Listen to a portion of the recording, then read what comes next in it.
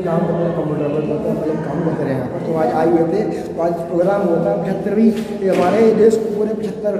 आज़ादी को पचहत्तर वर्ष पूरे हो चुके हैं यहाँ। इस उपलक्ष्य में प्रोग्राम हुआ था तो आपके लिए वीडियो ले वीडियो लाने वाले वीडियो का शेयर सब्सक्राइब वीडियो